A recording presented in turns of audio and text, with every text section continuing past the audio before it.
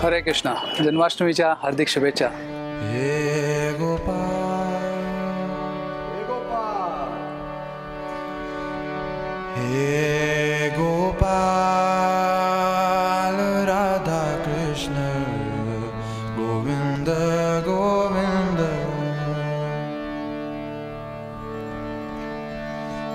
Krishna Govind Govind Krishna. Govinda Govinda. Krishna Govinda Govinda. Krishna. Govinda Govinda. He Gopal Radha Krishna.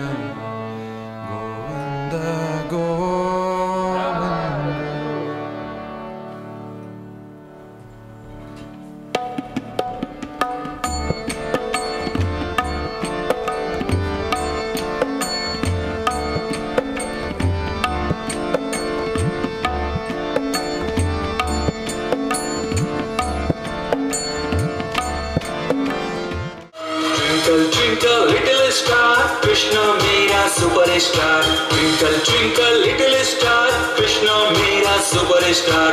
Suraj चाँद सितारे गाते, सूरज चाँद सितारे गाते, नंदलाला की जय जयकार. यो मामेवमसमुडा जानाति पुरुषोत्तमा स सर्वविद्वजाति अतिशय छोटी छोटी ही बालकं या सुंदर वेशभूषे वेशभूषेमध्ये आपल्याला दिसत आहेत. विश्वराज विशाल काकवले मी पांडुरंग. हो.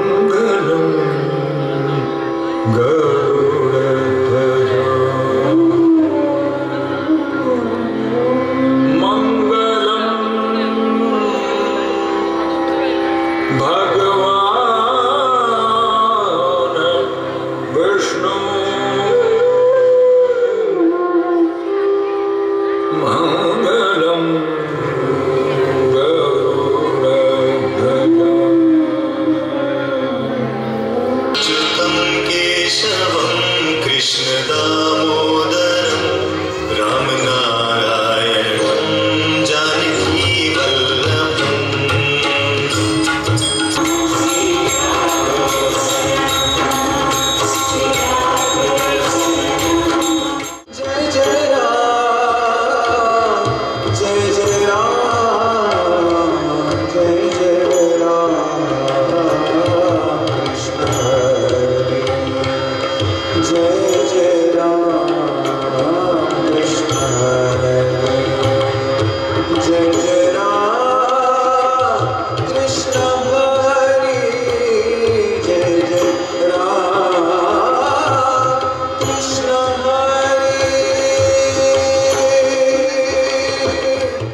आणि सगळ्यात वैशिष्ट्य म्हणजे जन्माष्टमीचं वैशिष्ट्य म्हणजे रात्री बारा वाजता होणारा श्रीकृष्ण जन्मोत्सव. तो अत्यंत खासियतपणे आमच्या खास पद्धतीने आम्ही या ठिकाणी आयोजित केलेला आहे.